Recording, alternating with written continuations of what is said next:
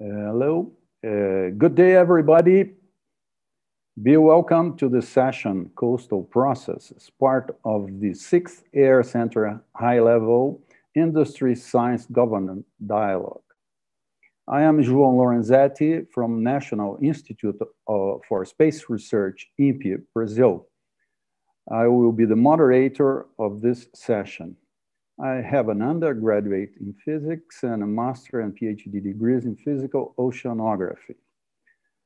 The objective of this session is uh, to contribute to the development of our Air Center mission on clean and productive coastal zones, bays, and estuaries to sustain biodiversity and ecosystem services for a blue economy, including the comparative assessment of initiatives of, and action uh, of research in several locations. Uh, this session is co-organized with GEO, Group on Earth Observations, MBON, Marine Biodiversity Observation Network. Today we have five speakers, okay? Uh, I would say that uh, we have a, a very nice uh, spread of subjects covered by these five, five speakers. Uh, we'll have Victoria Coles, from University of Maryland Center for Environmental Science, Horn Point, Point Laboratory. Victoria is a physical oceanographer and her talk, uh, in her talk, she will provide an overview of work, research development of coastal resilience planning and management in Chesapeake Bay, watershed estuary and coastal zone. In the sequence, we'll have uh, Marcelo Rollnic, University Federal of Pará, Brazil. Marcelo also is a, uh, has a doctor, a PhD degree in physical oceanography, and his talk will be related to research initiatives in the Amazon coastal zone. Followed by Ffion Atkins, uh, who is a, um, she has a PhD in oceanography and works uh, in the University of Cape Town, South Africa. Her talk uh, will deal with nitrogen and its impact on coastal zones and how can we begin to link land use to nitrogen loading to better understanding urban nitrogen cycles and how we can mitigate nitrogen cascades in the coastal environment. In the sequence, we have José Lino Costa of CoastNet, Portuguese Coastal Monitoring Network, uh, José Lino is Vice Director of MARE, Marine and Environmental Science Center, Faculty of Science, University of Lisbon, Portugal. He has a PhD in biology and his talk will be the analysis of different monitoring types, direct, mandatory, and surveillance used in estuaries and coastal areas in the Portuguese coast. And last but not least, Francisco Campuzano of Maretec, uh, Marine Environment and Technology Center of the Instituto Superior Técnico, University of Lisbon. Uh, in his talk, he will uh, deal with uh, downscaling of ocean processes and integrating them to coastal processes to sustain the blue economy by use numerical models. I should say that um, after the presentations, we will have a Q&A session of 15 minutes. And uh, when we finish our session, we'll have a breakdown room with 30 more minutes for those who want to continue discussing with the panelists, bringing their points of view, bringing other questions that could not be dealt with properly in the 15 minutes, okay? The link to the breakout room will be available in the live stream chat 15 minutes prior to the schedule of the end of the session. We invite everybody, if possible, to stay for this 30 more minutes breakdown room. So without further ado, I would uh, ask Dr. Victoria Coles to bring her presentations. Thank you, Victoria. Floor is with you.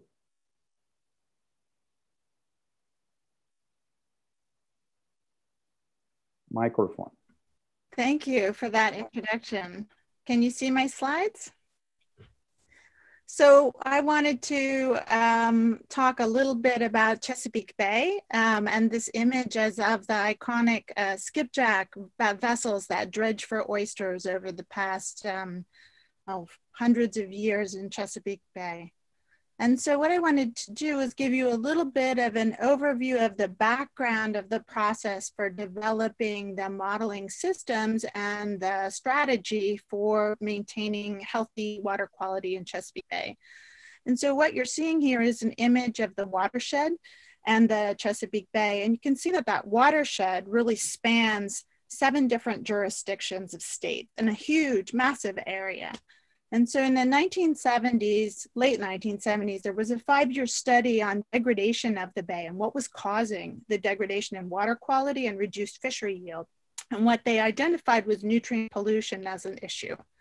So in 1983, um, the Chesapeake Bay program was established um, by three of the jurisdictions, and eventually all of them signed on. And, and that sort of culminated more recently in 2010, the establishment uh, um, the what they call the total maximum daily load, which is essentially an environmental protection agency mandated uh, reduction in the amount of nitrogen and phosphorus loading that each of these jurisdictions could yield, uh, could, could produce in order to maintain water quality in Chesapeake Bay. And so in establishing those loads, the Chesapeake Bay program had to develop a modeling suite that could estimate how, um, how this, this land to estuary to open ocean connection would result in water quality changes. And so that, that modeling suite included a land use change model, an airshed model that produced atmospheric deposition, a watershed model over the whole region that integrated those land use changes and routed physically water as well as nutrients to the estuary. Then they enter into an estuarine model um, and that estuarine model both calculates the physical circulation and also the biogeochemistry, phytoplankton growth, and oxygen dynamics in the estuary. And those are used to go back to management then and say, all right, how much nitrogen and phosphorus can each area emit in order to maintain water quality standards in the bay? And so that modeling output is fairly, it, the model works fairly well. In fact, I'm just sort of showing a few things just so you can see that hydrological model on the left, uh, the dots are observations, the line is the um, model, and it seems to capture the decadal variability, interannual variability over a decade. And, and more importantly, perhaps on the right, what you see here is that it, it's um, then used to assess what was the nitrogen loading in the base scenario of 1985. And then if in green, if these are each for each uh, tributary to the estuary, if every possible action were taken on the land surface to reduce nitrogen load to the estuary, how much nitrogen would still be entering the Chesapeake Bay? And so we can use models in these to make these management implications and to restore the health of the bay. And so what you're seeing here is one possible use of those models. Not only can they be used to inform nitrogen reductions, but in this case, the Bay program model was used to look at how sea level rise how temperature changes in response to climate change, and how the intersection of those two on the far right contribute to influencing uh, dissolved oxygen in the bay. And this is the primary measure of water quality health that's used by the Environmental Protection Agency. And so the Bay program model predicts that uh, increased sea level rise will essentially increase the circulation in the bay, actually oxygenating it, causing a, an improvement in oxygen. And so this is the important part is that the Bay program model is excellent, but it's not the only model in town. And so other modeling efforts, um, showing just one other model, um, ChesROMS, which is used in a forecast mode. You can see the forecast for tomorrow on the left in bottom oxygen. But that model actually predicts a reduction in oxygen in response to sea level rise and temperature change. And so what we have here are multiple model systems and they are not actually giving the same answer. And one of the things that's been particularly effective in managing Chesapeake Bay is that the Chesapeake Bay program has been very open to this and they have encouraged the development of different modeling systems and they have welcomed trying to understand when we have results that don't agree with each other. So submerged aquatic vegetation is one of the factors that tells us that this, uh, this, this uh, uh, strategy is working, okay? So if we look on the right, we can see over time from 1985 to 2015 that nitrogen and phosphorus in the estuary have been declining and that in response, the area of bay grasses has been increasing. That's this upper figure here over time. There's lots of variability on a year to year basis, but a general trend to increase. And this isn't just academic, it's actually economic as well, because this grass traps sediment, it uh, takes up nitrogen, it improves water clarity, it reduces erosion, and it's a habitat for larval fishes and for blue crabs, for example, and it's worth a lot of money. so we know that the strategies that have been employed are actually working. That is to say, we're seeing these changes in nitrogen loading. And so, what are kind of the key elements that are aiding this restoration effort? And now this is just me and my opinion. But the first one is data, and the second one is data, and the third one is also data. that is to say, that we're extremely fortunate that in uh, in developing the Chesapeake Bay program efforts, a very strong monitoring effort was employed to go out to the Chesapeake Bay. They've been measuring the same stations once a month for decades, okay, since 1983. And so that's how we can make these figures that look at the trend in phosphorus and nitrogen loading in a very, very noisy system. You need to have a very long time series. We also have excellent remote sensing data that can help to, um, uh, this is an image from yesterday uh, showing phytoplankton chlorophyll concentration in Chesapeake Bay and the Delaware Bay. And then we have historical data going back to even the 1900s on weather station. And so we can look at the variability over time in the environmental forcing that might be driving changes in the bay that are natural or you know part of um, long-term climate cycles. And then there's also from 1954 to 2018, a lot of time series for juvenile striped bass and other juvenile larval fishes. And so this, all this, this, this large amount of data has really been key to maintaining that restoration effort. The other element is that the, trans, the Chesapeake Bay program has been very transparent in their modeling system and has become more so over time. So those models are available to researchers. They're not a closed system. And the Science and Technical Advisory Committee is reviewing those models on an ongoing basis, and the Bay program is open to critical feedback. Many of us struggle with critical feedback, and that's really something that's been a benefit. Furthermore, there's an open source effort, the CCMP, in which researchers have made their models and the data required to, uh, to set them up available to the entire community, open source. And that has really encouraged the research and the management communities to compare models and to understand what's driving the differences between them. And the last thing, I'm just about done, is that we have, um, I think, creativity and working with the management and the jurisdictions involved. And so one example of that is that the watershed, the watershed model was actually simplified and condensed and made more empirical in order to provide it to managers at the county level. So these are small rural community counties with maybe only 30,000 people. And the managers in those communities can go in and run this model on the web and calculate how to most cost effectively implement management practices that reduce nitrogen and phosphorus loading. And so sometimes the best model isn't necessarily the one that can bring the community on board to implement changes that lead to improved water quality. So those are the factors that I think are central to um, improving uh, water quality in the Bay. And I have some stories, if we have time later, about successes and not successes, things that haven't always worked very well. Um, so I, I'll yield the floor here. Thank you, Victoria. Excellent talk, very stimulating. And uh, we could see very clearly how different methodologies huh, are needed to study a complex environment. You should use all these techniques, but uh, this makes things uh, uh, things a little bit complicated too. Okay, but uh, it's needed, no question. Thank you. Uh, the next speaker is Marcelo Rollnic of Federal uh, University Federal of Pará, Brazil.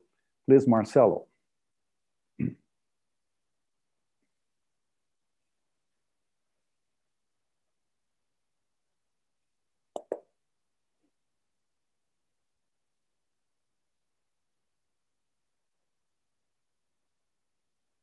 Yes, perfect.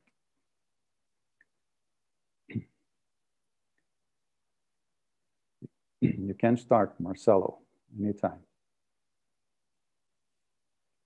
We don't listen to you. Nós não estamos ouvindo, Marcelo, e tem que colocar em, em tela okay, cheia. Ok, escuta agora. Tela cheia, por favor. Ainda não. Escuta.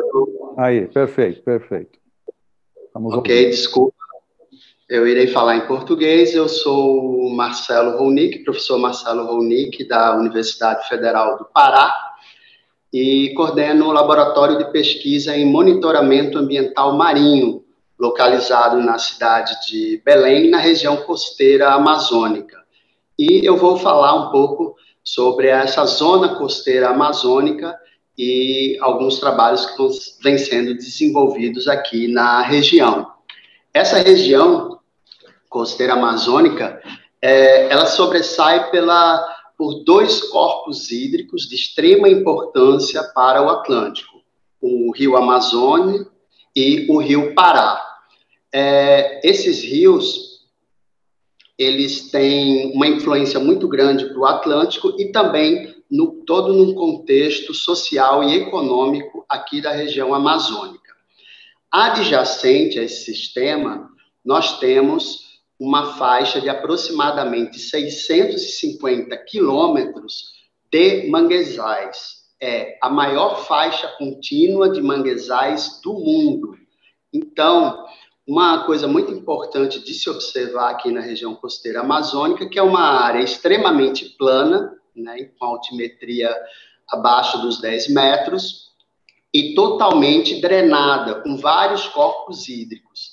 Isso é uma informação muito importante quando falamos sobre questões relacionadas às mudanças climáticas e também as, a questão da socioeconomia. Então, aqui na região, nós temos essa grande faixa de manguezal, bem desenvolvido e preservado, com árvores de aproximadamente chegam até 40 metros de altura. Temos ao longo dessa faixa de manguezal toda uma comunidade tradicional que tanto faz o extrativismo quanto a pesca, movimentando toda uma economia tradicional, sem falar em todo, toda a questão da, do carbono azul. Ao mesmo tempo, nós temos nessa região grandes metrópoles, como aqui na foto, a cidade de Belém, que fica próximo ao Rio Pará, e temos também a cidade de Macapá, que fica às margens do Rio Amazonas. Então, é interessante notar que, num ambiente bem próximo, nós temos um ambiente altamente urbanizado, nós temos um, um, outro ambiente altamente preservado, no caso, os mangues. E essa região costeira amazônica, ela é uma interseção entre um sistema de florestas drenado por grandes rios e o sistema oceânico, o Oceano Atlântico Sul e Norte, uma vez que a linha do Equador né, passa é, nessa região, na cidade de Macapá. Então, aqui nós temos todo um contexto econômico importante para a região. É, quando tratamos sobre o Rio Amazonas e o Rio Pará, o Rio Amazonas nós temos uma vazão aproximada de 200 mil metros cúbicos por segundo, enquanto que o Rio Pará, uma vazão também muito expressiva de 20 mil, né, uma ordem de grandeza menor, mas 20 mil metros cúbicos por segundo. E nós temos uma conexão entre esses dois rios pela parte continental. Aproximadamente 5% das águas do Amazonas flui para o Rio Pará e estes atingem o Atlântico. Junto com este aporte hídrico importante, né, vamos ter o transporte de sedimento através da pluma, transporte de nutrientes que influencia grande parte da plataforma e de toda a região, e também o transporte do lixo marinho. Ao longo desses dois sistemas, ao longo de todo o sistema hídrico da região costeira, nós temos várias cidades que não têm uma, um sistema de coleta de lixos adequado e esses lixos acabam, muitas vezes, indo para os rios. Uh, a parte, né, a gente tem um, um, contexto econômico muito importante. Nós temos o processo de extrativismo do açaí, o açaí que ocorre numa porção mais interna né, do, da região costeira, é, ele é exportado para o mundo todo. Nós temos as hidrovias, que escoam grande produção da soja, que é produzida no centro-oeste do Brasil, através de comboios, de balsas, e essas chegam até os portos localizados mais próximos à região oceânica e onde ocorre também esse transporte. E também temos uma atividade muito forte da mineração, principalmente do alumínio, que fica esses processos ficam localizados próximos também de rios e requer um cuidado especial no contexto ambiental. Já na plataforma continental, nós temos uma biodiversidade né, específica, nós temos uma grande faixa de um, um mega habitat bentônico, que foi descrito, já foi identificado há muito tempo, mas foi melhor descrito recentemente, um ambiente recifal que ocorre ao longo de toda a plataforma continental. Nós temos, através da corrente norte do Brasil, que flui com uma intensidade muito forte, todo o transporte do sargaço, né? Então a gente visualizou isso em, em, várias pesquisas e que esse sargaço ele acaba se tornando um problema ambiental em outras regiões, em outros países e ele flui passando em frente ao Amazonas e o Rio Pará e temos toda uma atividade de pesca tradicional muito importante para principalmente na questão da subsistência. Então, em cima de todos esses contextos, né, de, de ambientais e econômicos. Nós temos algumas iniciativas, né, vários projetos foram executados por várias equipes, né, mas nós temos um, eu vou só citar o último que terminamos agora, há, há poucos meses, o projeto Costa Norte, um projeto inter e multidisciplinar, envolvendo várias áreas de conhecimento. Aqui eu só destaco, por exemplo, o, além de outros, né, outras análises químicas, análises hidrológicas, nós lançamos vários derivadores, os drifters, que ao longo de, de um ano, mais de 140 derivadores, em que pudemos observar processos tanto de plataforma quanto costeiro, tanto de larga escala como em uma escala menor, em frequências distintas também. Inclusive, lançamos alguns desses derivadores na mancha de sargaço, né? E acompanhamos e tivemos derivadores que é, chegaram no Atlântico Norte e, e, tiveram uma trajetória bem interessante. É, em, em, cima de todo um levantamento de dados, né, nós desenvolvemos um modelo costeiro regional, pegando desde o rio, a parte do Rio Amazonas e Rio Pará, entrando até aproximadamente mil quilômetros dentro do Rio Amazonas, passando pela parte estuarina e se estendendo até a plataforma continental. Uma vez esse modelo validado, né, calibrado e validado, nós fizemos um, um refinamento em vários estuários da costa, né, fazendo um downscaling dessa malha maior para áreas mais específicas e que, depois de trabalhados, eles também servem para um upscaling, para entender os processos do Atlântico como um todo. Detalhe é que nós utilizamos um, método da malha flexível, fazendo a modelagem não só nos canais, mas também nas planícies de inundação dos manguezais. E é, utilizando a técnica de lidar para fazer o, a topografia detalhada dessas áreas manguezais, conseguimos identificar a frequência de inundação em vários desses sistemas, em vários estuários. Isso é uma informação muito importante na hora de trabalharmos com questões de mudanças climáticas, a questão das atividades econômicas, seja a pesca, seja a aquicultura ou seja o turismo. Então, nós temos um detalhamento dessa frequência de inundação que é, nos permitiu identificar vulnerabilidade desse ambiente a determinados fatores. Marcelo, e aí, ok, nós temos uma base de dados de aproximadamente 10 anos, e a ideia é que toda essa base de dados fique disponível então, nós temos o Observatório da Costa Amazônica, uma iniciativa que foi criada, que está sendo tocada pelos jovens pesquisadores da Amazônia, onde você tem dados observados, dados previstos e todo um contexto social. E como perspectiva, nós estamos fazendo aqui a criação do iCentre Amazônia, onde já temos a Universidade Federal do Pará, Museu Guild e o INPE, em que a base vai ser situada no Laboratório de Monitoramento Ambiental Marinho. Então, eu finalizo deixando o convite para o evento de inauguração do iCentre Amazônia, que ocorrerá em novembro de 2020, Linking Green Blue Amazonas. Obrigado a todos. Muito bom. Thank you, Marcelo. Very good. Uh, I think you gave the audience a very, uh, very good perspective of this beautiful uh, riverine uh, and estuarine uh, system and how you guys are studying it using different methodologies of data collection, numerical modeling, remote sensing, and gave and gave us this very very nice uh, end of the proposition of, of, their center Amazonia, which is very, I, I haven't heard about it, but uh, congratulate you for that. Okay, the next uh, speaker uh, is uh, Ffion Atkinson, Atkins uh, of South Africa. We have a recorded presentation that she left to be presented.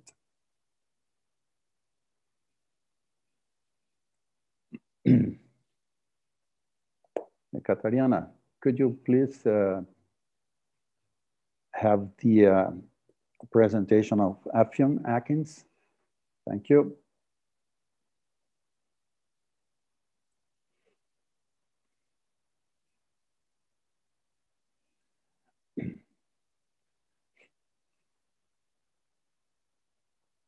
Dr. Atkins, uh, unfortunately, she could not be present but she left uh, her presentation recorded. So uh, as soon as they have it ready to to start, we'll have the chance to see what she's doing in South Africa. I, do, I would ask again, Katarina Duarte, can you hear us?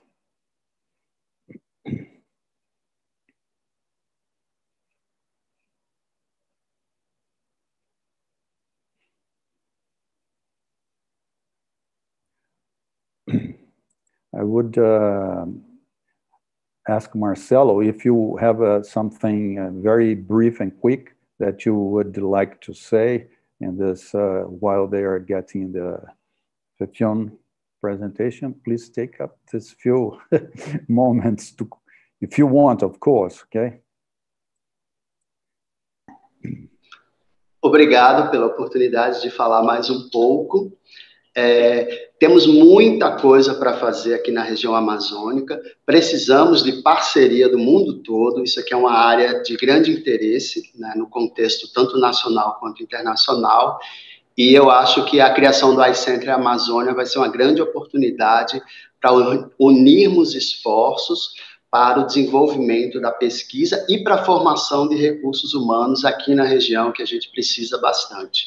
Então, eu estou bem empolgado, eu, eu já sou empolgado, mas eu estou bem empolgado com as possibilidades de unir esforços em prol de, de, do desenvolvimento da pesquisa da região costeira amazônica, que ainda tem grandes lacunas, tanto a parte biótica, abiótica, quanto social. Okay, Marcelo, thank you very much. I would, I would ask again, uh, next person is uh, a, Ffion Atkins. So we are waiting for the video, okay, that she recorded, be presented. Okay, people are suggesting that we go ahead for the next uh, speaker. So, uh, José Lino, are you ready to, yes. to go? So yes, let, we're going to move for uh, the presentation of José Lino Costa. Please, Jose. Yes, I, am ready. I hope you hear me well. Yes, perfect. And, and you can see uh, my slides? Yes? Yes, perfect. Yes, perfect. Okay. Hi, everyone. Uh, uh, it's a pleasure to be here. And uh, as João said before, uh, my presentation will be about uh, the importance of in situ and remote monitoring for the knowledge and function and preservation of coastal and estuarine areas. I tried to uh, uh, make these the objectives of this talk to be included in the objectives of the session. So uh, I'm going to analyze the different monitoring types used in estuaries and coastal areas of Portuguese continent uh, with special emphasis on major constraints and the future, future outlook of these monitoring uh. So we generally we have three types of monitoring types. Uh, so, and in Portugal we have these uh, three types of, of monitoring uh, programs, and the most the the first ones are directed to uh, are the directed monitoring. This is monitoring to answer to specific questions with a theory and basic hypothesis. Uh, usually we implement this type of monitorings when we are trying to uh, analyze the impacts of a project like ports, aquacultures, and so on. Of course, we can use it, and we use it also in some cases in some projects. We are using, we used it before, and we are using now uh, monitoring of uh, the impacts of activities. For, in for instance, the impact of fisheries activities. And uh, another type of monitoring, uh, of direct monitoring, is that of the effects of protection. For instance, to see if uh, the protection, the implementation of a marine protected area uh, will have the, the impacts, the positive impacts that we expect that happen. So these are directed monitoring uh, uh programs with specific questions to answer. Then we have another type of, of monitoring that was we call, we can call it as mandatory monitoring to uh, uh, comply with the requirements of some legislation or directives. Uh, in Portugal, right now, we have mostly two types of, uh, of mandatory uh, monitoring programs in uh, marine and estuarine areas, and especially in coastal areas in the marine case that, that are the Water Framework Directive and Marine Strategy uh, Framework Directives. They are related, they are uh, uh, European directives and Portugal, like the other European countries, have to comply with the obligations of these, uh, of these directives and to make monitoring uh, in that case. And of course, we have a third uh, type of monitoring programs. We call it surveillance monitoring we can also say that these are passive monitoring without any uh, theory or basic assumptions. Uh, uh, in fact, we have no immediate questions to try to respond, but they are very useful because we are gathering information that we can use after that in uh, uh, many cases, like, for instance, to analyze climate change or to use in eco economic development.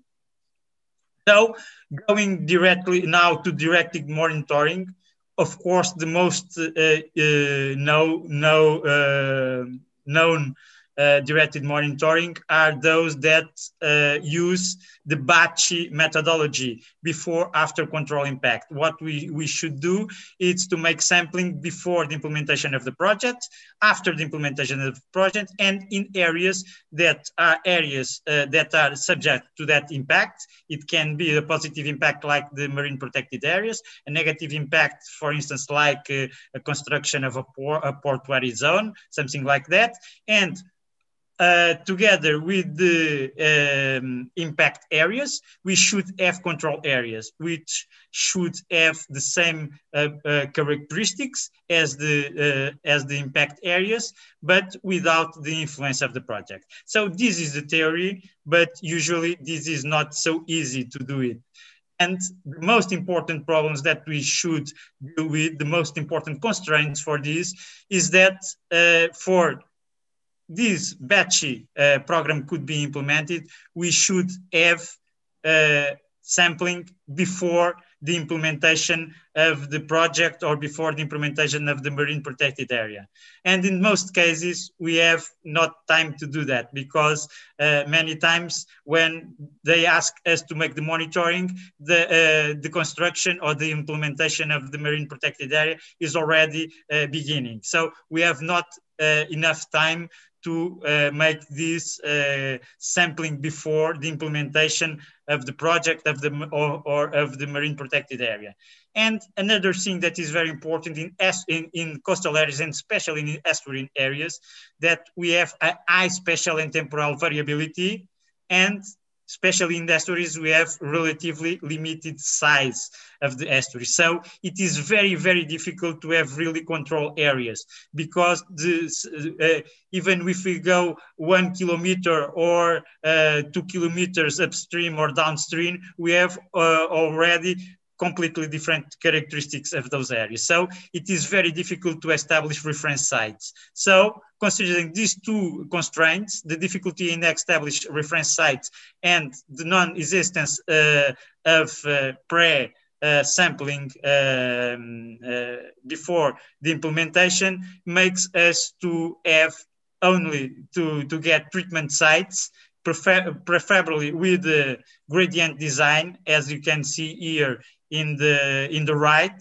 we can have uh, different types of gradient designs or we should use methodologies that do not require reference situation. For instance indexes you can use them uh, and you, you, you can use them uh, instead of uh, the, the design of BACI. And of course, in this case, we have to make the, to extend our studies for a, long, a longer period because with the BACI design, probably two, three years, it's enough to, to see if we have the impacts of the projects of the, of the marine protected areas. But out uh, without this, uh, this type of design, we should have more time to, can, to, to see the trends. The recent uh, trend is toward to be less demanding, especially in uh, uh, what uh, is referred to um, project uh, monitoring, and this is uh, diminishing the quality of the studies. This is a really problem here in Portugal. I understand it is not only for from Portugal, but in Portugal this is a, a major problem. Regarding mandatory monitoring, uh, we can talk about the Water Framework Directive and Marine Strategy Framework Directive. The major, uh, these are the, the obligations of the, uh, the state members to, to make the, the monitoring uh, like this for water framework directive phytoplankton other plants, benthos fish should be analyzed and for marine strategy we have uh, 11 descriptors, those that are referred here, that should be analyzed. Major constraints to these mandatory monitoring programs uh, and for its future, it, it is that this is a highly demanding process, costs and lots of time pressure to, to develop the methodologies and to implement it. Difficulties to developing the methodologies and the intercalibration program because all member states should have uh, methodologies that uh, could be intercalibrated, and this is very difficult to do it. and difficulties resulting uh, relating with the results of specific pressures and implemented measures. We can't say that we should that we have problems in one place, but we cannot say if it is because of one pressure or the other pressure. And this is an, an aspect that we should develop our methodologies a little bit more in the future so difficult to comply with the sampling periodicity also and to act in accordance with that results obtained. So it is difficult to have the time and to have the money to do all these mandatory monitoring programs. Regarding surveys monitoring, I'm going to give only an example of CoastNet of uh, infrastructure that I'm the coordinator. We have all also other other infrastructure uh, infrastructures there, but the main goals of the CoastNet are to obtain remote and local observations of the Portuguese coast, integrate and permit visualization of the obtained data, and allow free access to near real-time and historical data. One For minute, that, we, one minute, yes? okay. So uh, uh, we have a coastal remote sensing system, a satellite data processing center, the environmental and biological monitoring system, a probe and sensor system to measure environmental variables, the Portuguese tracking network, a system of acoustic telemetry receiver detection lines, and all of this information is given by free to all people that want to uh, and uh, download them from that portal. Finally, uh, I, uh, uh, I would say that in situ monitoring have some advantages and some disadvantage. We can see some comparison here of higher costs for implementation of in situ, but higher in initial costs for the remote monitoring. You have less spatial cover and less temporal uh, cover for uh, in situ monitoring, but you have small number of parameters that you could use uh, in a remote uh, monitoring. And the, uh, only to, to refer this, it is very important to uh, stress this because when we are working in coastal areas and special in estuaries, the things are much more difficult uh, because of the special heterogeneity and temporal variability, which uh, oblige us to have a sampling uh, in more uh, areas with higher frequency. And of course, we have lots of human pressure in these areas and it in there, in there sometimes the operations we, that we should do. And any questions we, we can, uh, I can answer after, uh, later. Okay. Sorry. Okay, thank, thank, thank you, Jose. It was really interesting talk and gave us uh, another perspective of what generally uh, we call monitoring. Yeah? People normally tend to see monitoring as a one thing, and you showed us that they can be really applied in different uh, circumstances, and each one of those circumstances demand different types of monitoring with their specificities. Huh? Their difficulties, their limitations and potentials, and also the need of in situ data and how you one should put together in situ and remote sensing and uh, monitoring together was very very interesting. Thank you for your talk. I just want to see if we're gonna have uh, uh, yes I got the information that we will have now the video of Ffion Atkins, so that uh, uh, we'll be waiting for the video to come out. Thanks, Jose.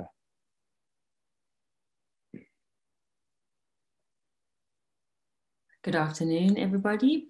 My name is Ffion Atkins, and I'm a postdoctoral research fellow at the University of Cape Town in South Africa. Um, my sincere apologies for not being able to present my work today in person, albeit virtually.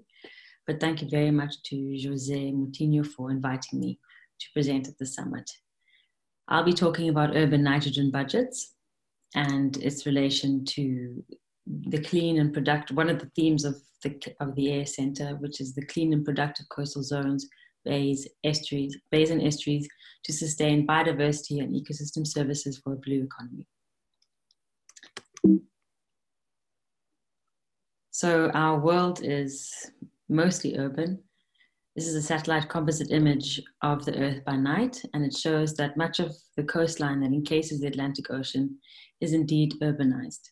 You can see that the Northern Hemisphere is far more urbanized than the Southern Hemisphere, and that Africa is far less built up than Europe and the Americas. So a large majority of our urban areas are situated on or have an impact on the coastal zone. Roughly 75% of our global population live on the coast. Today, 55% of the world's population live in cities, and it's estimated that by 2050, this will increase to 68%, almost 70%. And the environmental consequences of this represent one of the most urban challenges for today's society. So, this momentum of urbanization or this rate of change will result in unprecedented demands on ecosystem services. So, cities depend on the productive and assimilative capacities of ecosystems well beyond their city boundaries. The ecological footprints, as such, of cities required to sustain human life in cities, both by producing the flows of energy, material, and material goods, and assimilating waste generating cities, waste generated by cities, for example, wastewater. So this is the urban boundary effectively, and the resources required to, get, to sustain that city are far reaching. So the environmental impact of the city extends beyond its spatial footprint um, obviously into the terrestrial realm, but also into the coastal realm as well, especially if it is a coastal city, as many are. So I'm going to discuss the flow of one waste product of a city, nitrogen, which can be, which is observed in atmospheric, terrestrial, and aquatic systems. I'll discuss some ways that nitrogen impacts the coastal zone and how we can begin, begin to manage it better. So nitrogen, human activities um, have more than doubled the nitrogen turnover rates. This is through synthetic fertilizer, um, the synthetic fixation of nitrogen, nitrogen fixing crops, and fossil fuel combustion. And this has vastly increased the availability of nitrogen in the environment with impacts on the coastal zones or coastal ecosystems. One, namely, is harmful algal blooms, so here we have this graph on the left, the relative abundance of a diatom, toxic diatom Pseudo-nitzschia as a function of nitrate loading. Higher, higher nitrate loading increases relative abundance of Pseudo-nitzschia.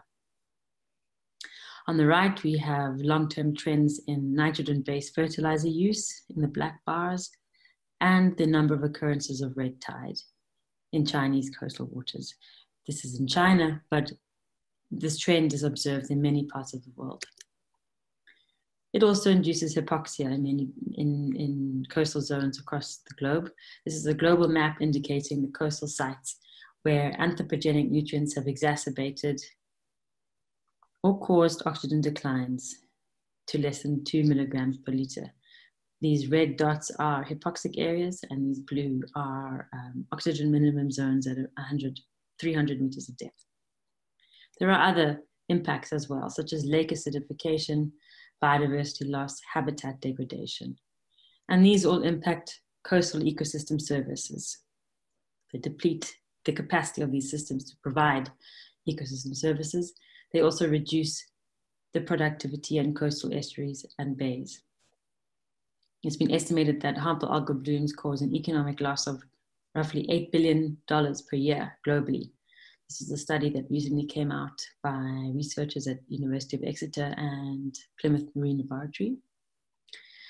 Here I'd like to highlight some work done by previous colleagues, uh, Marie Smith and Stewart Bernard, who was my, super, my PhD supervisor.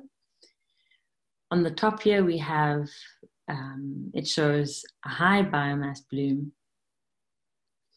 of um, phytoplankton on the south coast of South Africa, very typical of Southern African waters, high biomass blooms. And some of Marie's work is differentiating that into different fu functional types. Um, this is a dinoflagellate, a high biomass bloom of dinoflagellates. Here indicated in the blue diamonds is the location of two primary water intake pipes for abalone farms in the area. So abalone farms have become an important component of the blue economy in South Africa. And as we tap into our blue economy more, um, the exacerbation of natural phenomena like HABs by this increased loading of nutrients um, into the coast, it will become problematic. So I'm not saying that all HABs are direct, directly related to excess nutrient loading, but as I've shown, there is a very clear relationship between the two. And it does and it will impact the blue economy. Suffice to say that nitrogen management is crucial, but you can't manage what you don't measure. And uh, in an urbanized context, measuring nitrogen um, is complex. Cities are heterogeneous, and um, especially in an, in an, African setting or context, data is very scarce in um, African cities. So this is where urban metabolism can come in.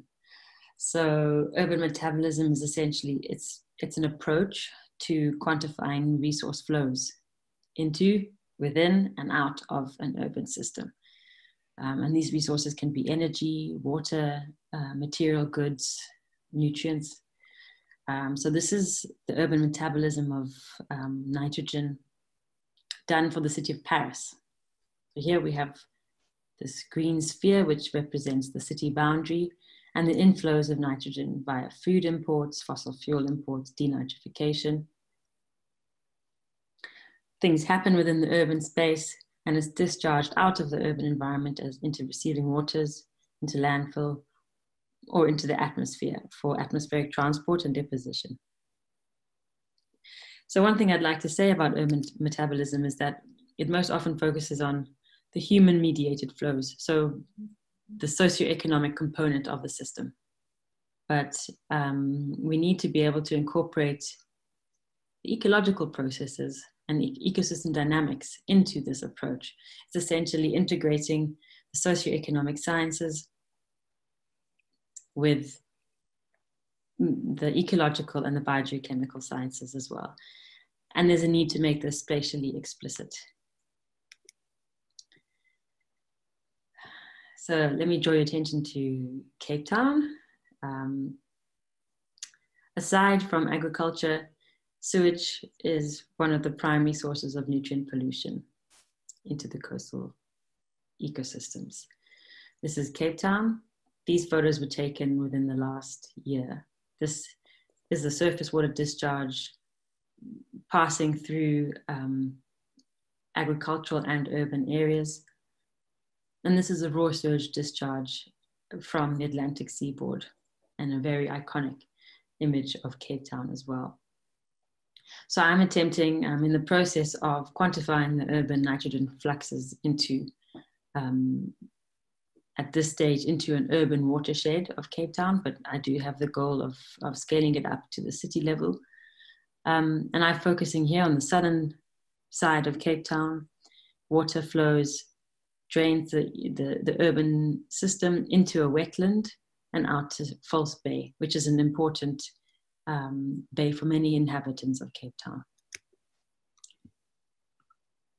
Oh, sorry. So how do I link land use to nitrogen loading? So I've chosen this watershed. Um, by the way, it's a highly modified watershed uh, highly modified in the sense that its its its catchment is mostly dictated by stormwater canals now. It's a coastal low-lying floodplain, and this watershed comprises of residential in yellow, peri-urban agricultural in brown, pink indicates informal settlements, and this is drained by the stormwater canals into the Zeekoevlei catchment, into the Zeekoevlei wetlands, sorry, um, which then flows out into False Bay. We also have a wastewater treatment works that also discharges its effluent into the bay as well. So for the sake of simplicity here, we've got a, we need to conceptualize our urban cycle, our urban nitrogen cycle or budget. I've done this via inputs and outputs. Um, I've simplified it for the sake of today. So inputs are nitrogen deposition, biological nitrogen fixation, fertilizer, stormwater runoff, and food. And outputs are denitrification, volatilization. So these are microbially mediated processes, NOx emissions, which is from fossil fuel combustion, agricultural crop yield, surface water, and wastewater. And I've collated as much information as is available in the literature as well as with the city of Cape Town and um, visualized it by way of a Sankey diagram. So Sankey diagram shows the flows of nitrogen, so in kilograms of nitrogen per year as inputs flowing out as outputs. So the thickness of the line is directly proportional to the magnitude of flow and the colors indicate the source of information. So green is um, observation. This has been observed. Lighter green is modeled information um, based on some data that I found within the literature. Red is an unknown. I don't know this information yet. And blue is anecdotal evidence that um, the city of Cape Town told me. So if we look at what comes into the system, we have bulk deposition and NOx emissions. I've treated the total NOx emissions to be deposited onto the surface again to contribute to runoff. We've also got lawn fertilizer and agricultural fertilizer. This all contributes to the total runoff that eventually enters as an inlet into the Zeekoevlei wetland. Firstly, what we can see is that there's a lot that's not been accounted for here. How much more nitrogen is being inputted from from the urban catchment that we haven't accounted for. This could be commercial industrial discharges.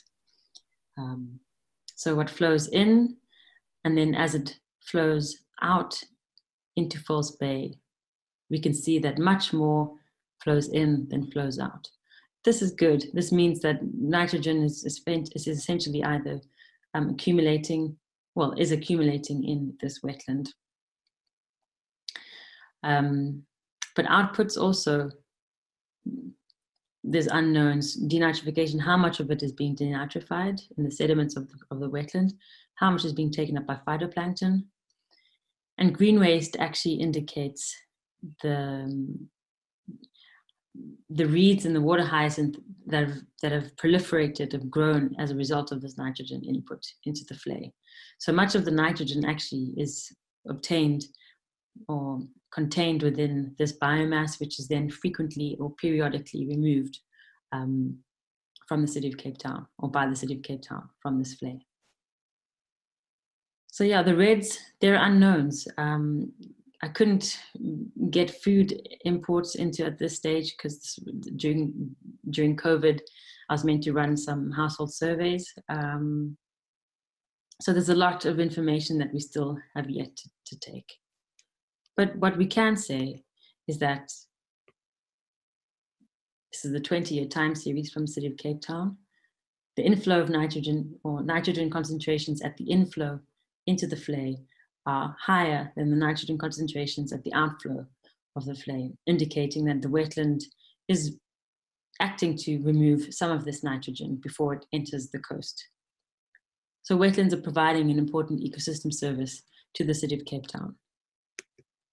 So I'll just wrap up here. Um, urban nitrogen budgets, I argue, are useful to identify gaps in data and knowledge. Um,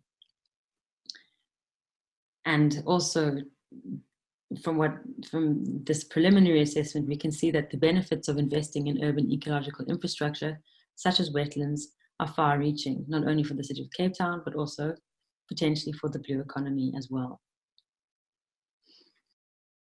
And more work in this is needed. Urban systems are highly heterogeneous and complex and they require multiple sources of data. It's an integrated um, endeavor, an integrated science endeavor, essentially. Um, and so, where can remote sensing begin to fill the gaps, especially in a context which is data scarce, such as um, rapidly urbanizing African cities. And I'll stop there. So thank you very much for your attention. And I apologize for not being present to be able to ask to answer any questions, but please do message me or email me. Um, I'd love to hear from you. Thank you very much.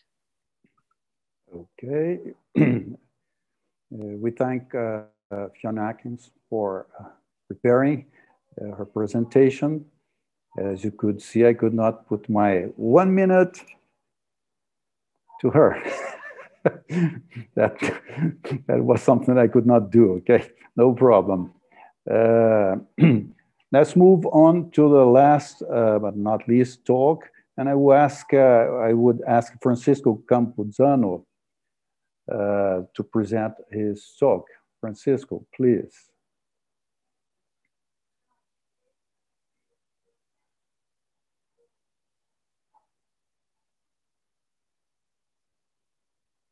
Perfect. We can't hear you. Yeah, I okay. had to mute myself. Okay. okay, perfect.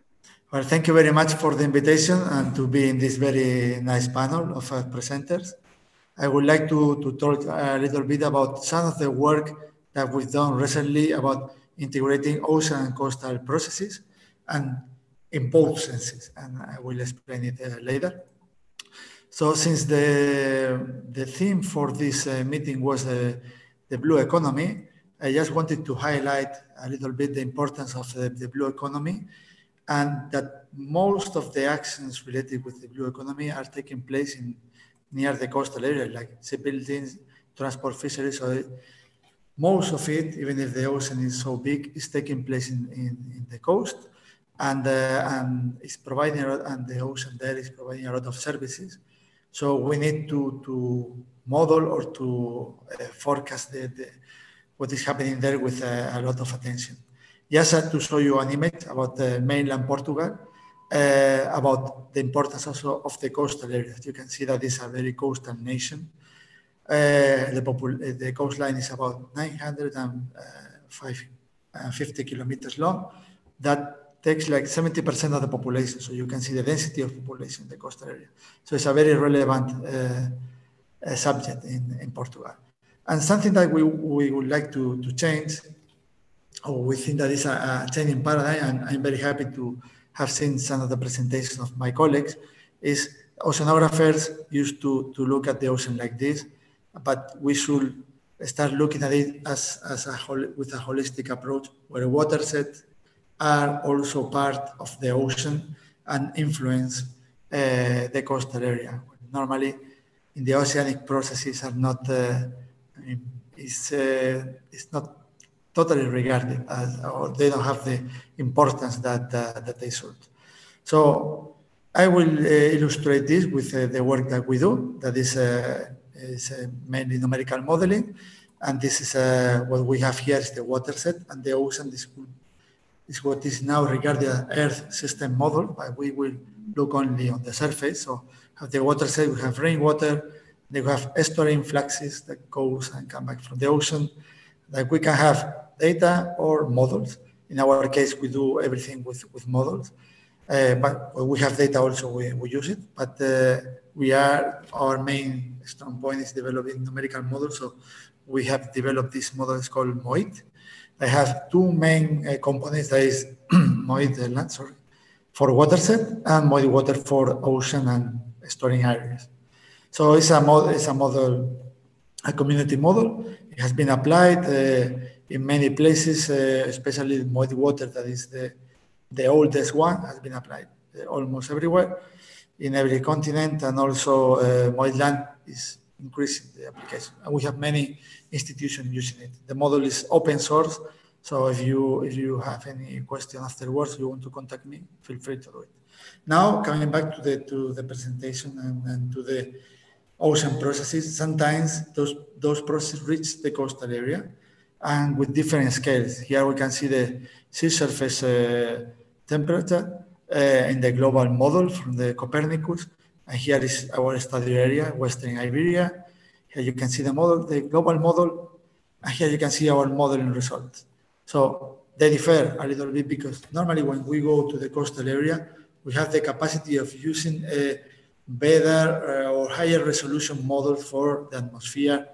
And this, is, this has a, an impact in upwelling system like, like this one here. You can see that our, our upwelling is stronger than the one uh, simulated by the, uh, by the global model.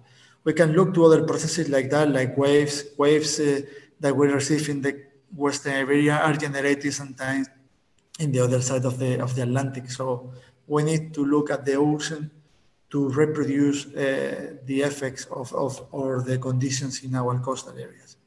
And then if we look to an example that I will illustrate here, this is the this is where is located Lisbon. Is our institution location. This is the Tagus estuary and the Sado estuaries.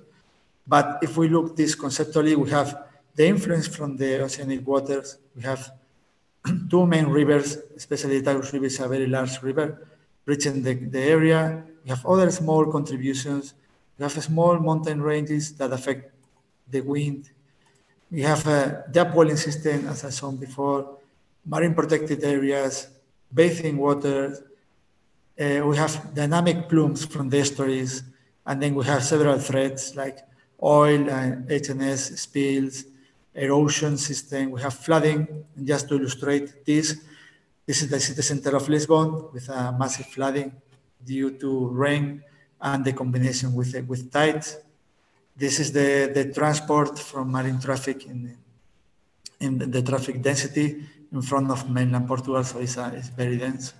We have erosion uh, near the, the coastal area, so we need to have uh, all these uh, parts well established and, and, to try to provide some solutions. So we downscale from those general patterns that are coming to, to our coast to other finer resolution models, then we can provide finer scale to these processes that are taking place in the coastal area. Also, when we have looked at the ocean, but now if we look on the on the watershed, we need watershed models because our we, we need also forecast and we need and we don't have uh, all the data that we want from watershed. So this is how a typical watershed model works, where you have uh, rainwater and then it's collected there uh, at the end, at the exit of the watershed. But now in our model, we are able to do for multiple watersheds, like you can see here, and at different scales. So we need this scale for having the Tagus River that is crossing of the Iberian Peninsula, etc. And then when we have the rain, we can populate uh, and numerically uh, the, the, the system, and we obtain what we call this water cycle, where we can see the river, estuary, and open ocean. Try to fit also the coastal ocean.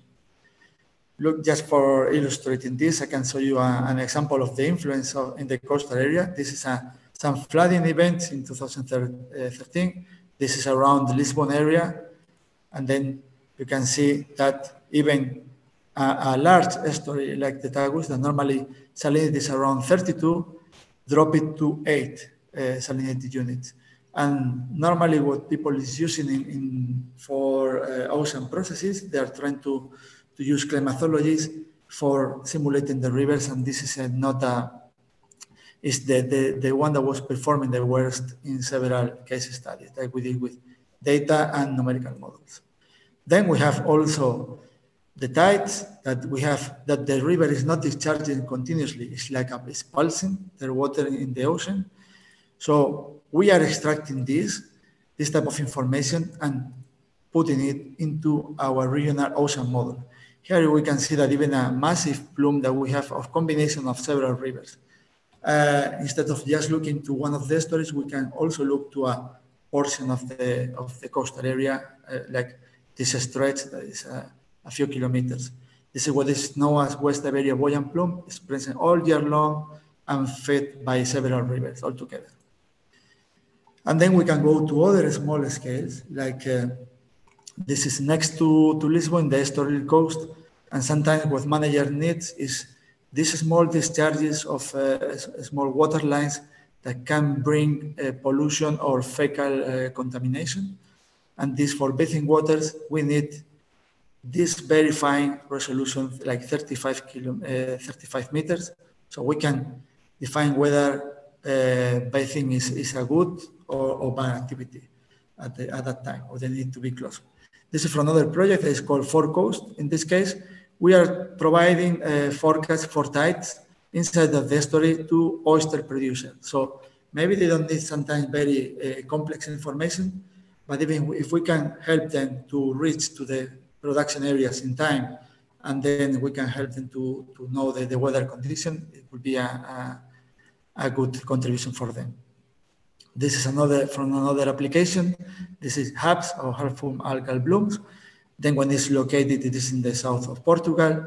And with a, a model that we also have, we are able, if they are detected, we are able to tell them where it will go, and then it can be translated into closure of some uh, coastal areas, or some beaches. So uh, it has a direct application. Also, nine, we, nine minutes already. Huh? Thank you. Okay, I'm about to, to finish. So uh, we go here also for, for oil spills. This is from an old application as Prestige in, in 2002, very well known. And then we were also doing forecast with, with this uh, uh, for this type of event. We need to reproduce well the, the fronts and salinity and temperature fronts in the coastal area to reproduce well this condition. So just to conclude, numerical models are able to simulate open ocean, watershed, coastal area processes, and to integrate the different time and spatial scale. Numerical modeling is a, power, a powerful tool for downscaling processes and to integrate them. Uh, blue economy activities uh, can directly benefit from the forecast capacity of uh, coastal models, also in combination with in situ data and observations.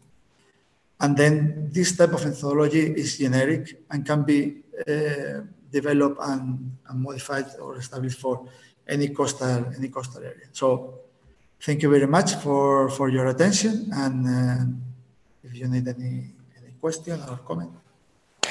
Thank you, Francisco. It was an excellent, beautiful presentation and gave us uh, the real perspective and uh, explained quite clearly the need to integrate large-scale processes of the ocean and atmosphere with land and small-scale processes and things that, that are happening inland and uh, the need to downscale uh, the models and to include all these different processes huh? if we really want to, to get a, a, very good uh, view of the system. It's something that's not trivial to be done, but as you showed us, huh, it can be done, okay? And I thank, thank you very much for that. Uh, I think we have uh, already finished with the presentations now, and um, uh, we could go for the question and answer session, 15 minutes session, okay? Um, as I'm expecting some people to, to submit their questions, I would like to put uh, to any, any one of you one uh, of my uh, questions. That is, uh, we have heard that the, um, there are perspectives of uh, real uh, sea level rise huh, due to climate change in the next 50 years or 100 years, okay? And certainly this will have enormous impact in certain areas, particular areas around the globe, globally, huh? And uh, what, what could we do? Not in terms of preventing the sea level, because we cannot do that, but in terms of research, okay? How can we help the governments to be prepared and uh, to be more resilient to this sea level rise. Does anybody uh, of you want to shed some lights into this type of uh, concern? You could start, to Campuzano. Okay, thank you. So I think that the, what this type of uh, management uh, of management activities, and it has to be a combination of and, and to try to, to involve the participation of many, many stakeholders and also people that are collecting information. But I think that models here, they have a very interesting uh, role since we can determine which areas uh, can be more affected than others and where they should concentrate because it's not a, a, linear process that is affecting all the coastal area uh, as, as it is. So even sometimes for managers, the, if we are able to tell them, okay, the problem is not here in the north part of the beach, it's in the southern part, then we are saving them 50% of, uh, of the effort.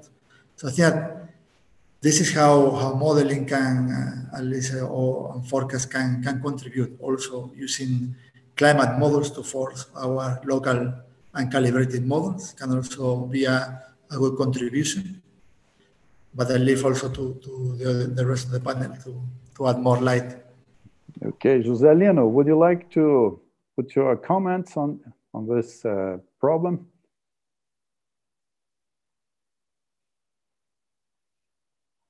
You need, you need to turn your, your microphone on. Sorry.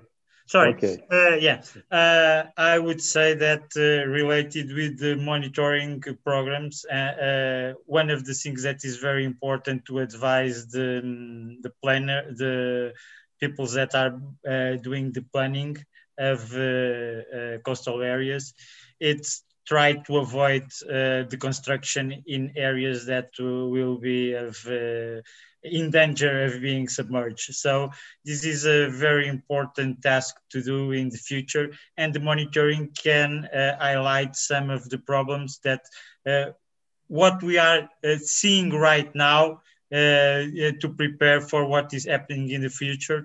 And so, uh, uh, relating all the things related with the climate change, not only the, um, the rising of the sea, but the alterations that we are seeing in the communities, in the processes, monitoring is essential to help decisions to see the problems that we are dealing with. And of course, modeling is uh, of major importance because it's with that with that that we can make some some simulations for the future and to see where to protect with uh, more importance in that case. Thank you, Jose. Marcelo, uh, would you like to put something, perhaps on the perspective of uh, your region, the Amazon? Your microphone, please. So the climate change will affect the different areas.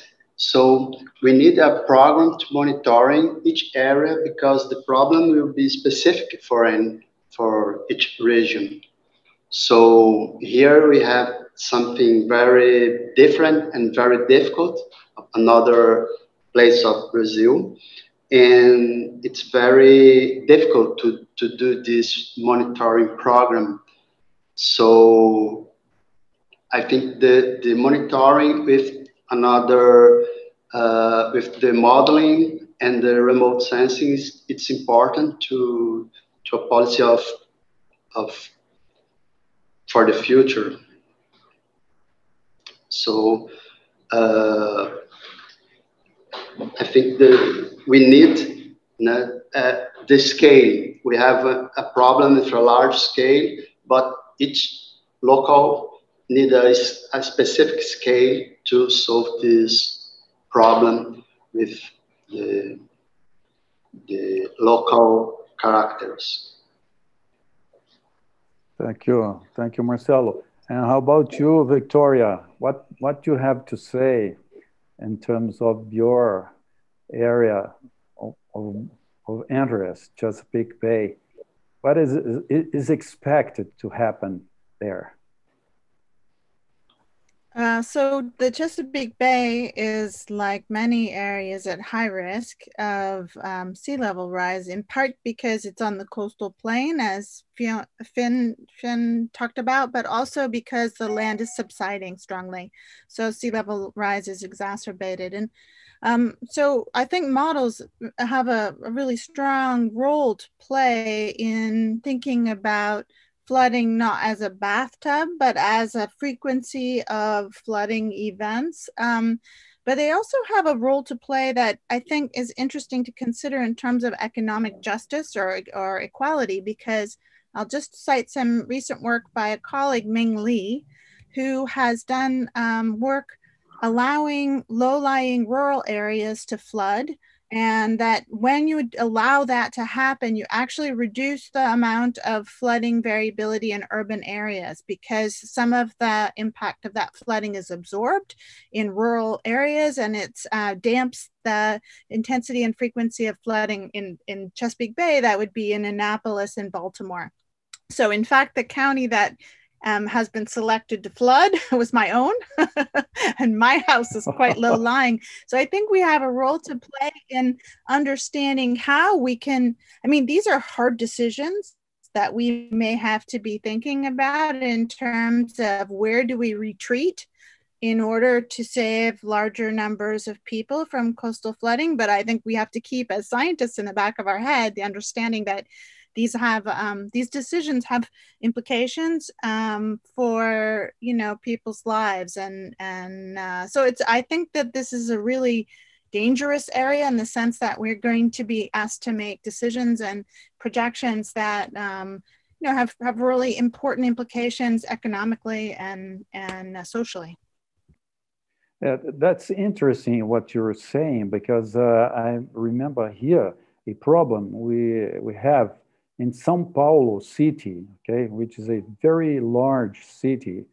It's the largest city in Brazil with a huge population.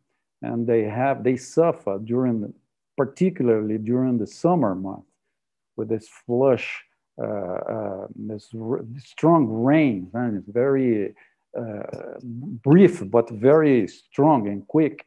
They produce floodings all over the city. And to, to remedy they constructed what we call in Portuguese piscinões, swimming pool, huge swimming pools in the city, okay?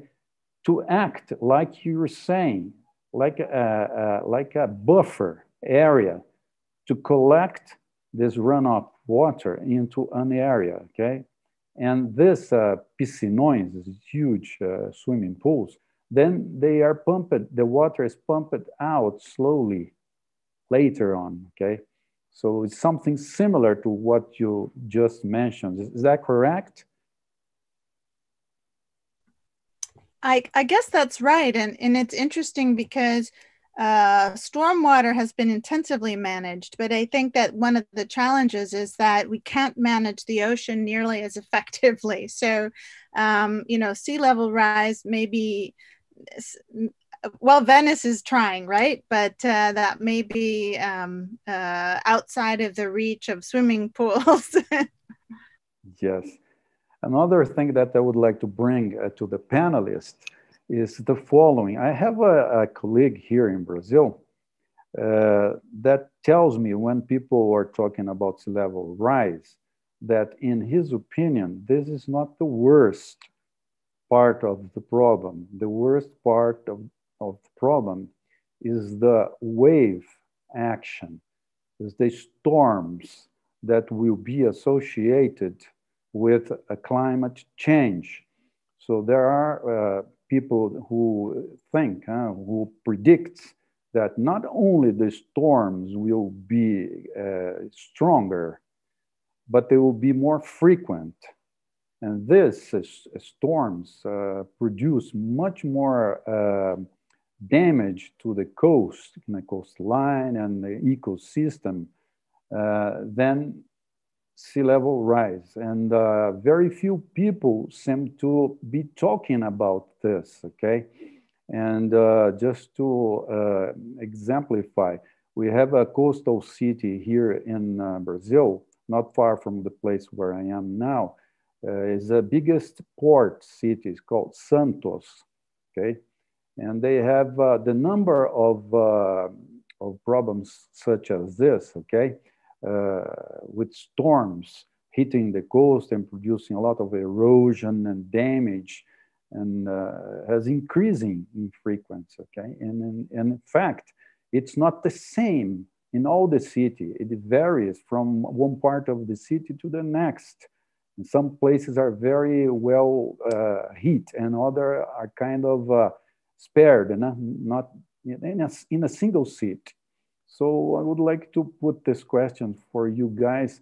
Would you agree with this fellow that perhaps uh, storms hitting the coastal zone will be at least as uh, damaging as sea level rise?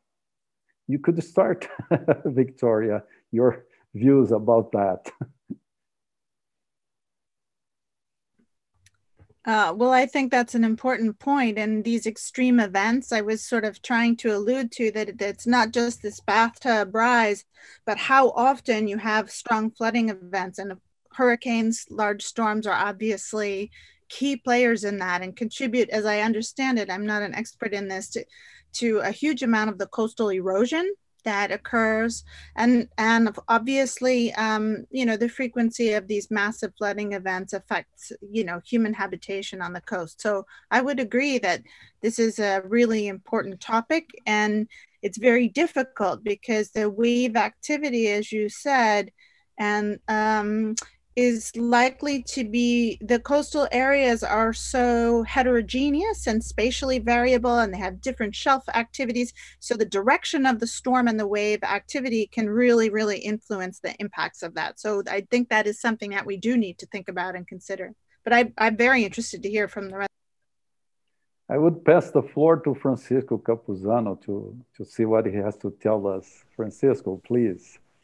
Yeah, I think this is a very interesting uh, subject, and I think it's, it's becoming also. I, I, don't have the data, but I think it's more and more frequent.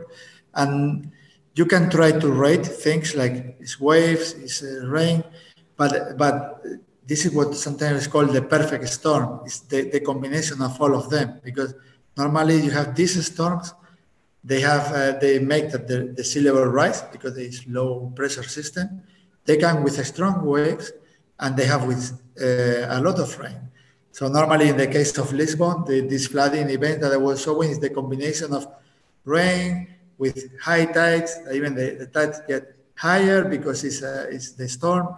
So these these uh, all events that they go all together, they are catastrophic in, uh, from the socioeconomic point of view. We don't know. I mean, in the terms in the long term, I don't know if the coast is as resilient for this, but for the blue economy and, and for the, the, citizens living in the coastal area is a massive uh, trouble. And, and, we are getting, and this is a personal opinion, kind of uh, used to it, used to listen uh, this kind of news. Like uh, now there have been a catastrophic uh, event here and there, and, and I mean it's, it's, becoming more more frequent. But maybe some other people have people have more more data than, than I have. Thank you, Jose. Would yeah, you like to? Yeah, yeah, I, I, would like. I would say that we have three things that are converging for um, this this type of problem. Probably in some areas for a catastrophe. It is, of course, the the sea level uh, the sea level rising. The other, it's the increasing of storms, uh, which more storms with more storms and with huge uh, intensity and the third thing that is very important, at least in Portugal and in the Tagus estuary or in the Mondego estuary, other estuaries in Portugal, is the construction of dams. We have lots of this, the sand re being retained in the dams, and because of that, we have uh, less opposition to the to the sea and to the storms uh, near near the, the mouth. So these three things are really very bad and are are, are are provoking big problems here in Portugal. And of course, every year the, the Portuguese government put sand on the on the littoral. And sometimes I would say that it's better to to take out money directly than put sand in the in that areas because in the next uh, uh, winter all the sand is going out and uh, we have to probably uh, as Victoria said before we have to retreat and and try to think for where we should retreat.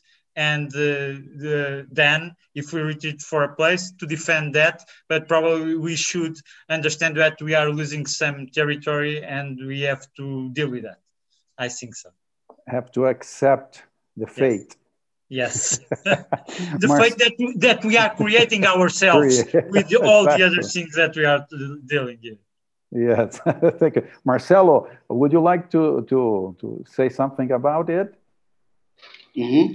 I agree. All this physical process is very important, but I think we need to look to this mangrove system too uh, for the protection of the coastal areas. It's a very important system to protection the coastal areas, and we need to look the the social problem, the adaptation, and the migration. Uh, the forced migration about the uh, a climate change problem. So uh, the, all the physical process, wave, wind, the sea level rise, it's very important, but we need to look to, to the environmental coastal zone and the social, social problem and the adaptation and migration of all, all, all biodiversity and the, the human too. Is this. Thank you. Thank you, Marcelo. I think we are coming uh, to the uh, finishing time for the regular session. And I, I would take this uh, few uh, extra minutes to tell the, our viewers who are in the live stream that uh, they should uh, sign into the Zoom link that is supposed to be in the chat area. Okay, and uh, as soon as we finish here, we will have a 30 minutes more of uh, Q&A in this uh, Zoom link, and you can rejoin there. So I think uh, we are running out of time, and I will take this opportunity again to thank very much to each one of the panelists. All of you presented excellent views and uh, work you're doing in your specific areas of interest. And uh, the discussion here certainly will continue very lively and uh, we will rejoin again in the Zoom link. And thank you very much for your contribution. Okay, thank you.